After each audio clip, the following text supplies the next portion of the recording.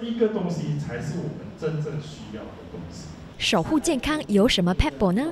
马来西亚慈济雪龙分会在各社区举办健康讲座，由仁医会成员到场传授保健方法。你看，他每天吃的肉肉数量越大，gram 这个是用 gram，然后你的患癌的那个几率越高。但是吃素，研究证明它真的可以减少一半。茹素虽然可以减低患癌风险，但素食方式多样化，要如何吃得健康？医师分享其中关键。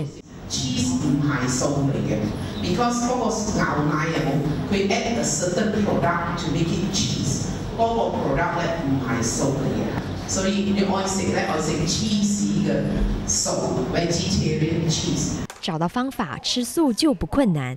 职工现场示范素食料理，简易而美味，更重要是吃得健康。燕麦，然后我加进我们的寡仁，我拿去打。这现在更清楚哦，其实正确的是，吃多一点，就是蔬菜这一类的。如果只是因为还是吃很多那种人造的那些材料，也对健康可能也未必是好啊。你要不要来吃素？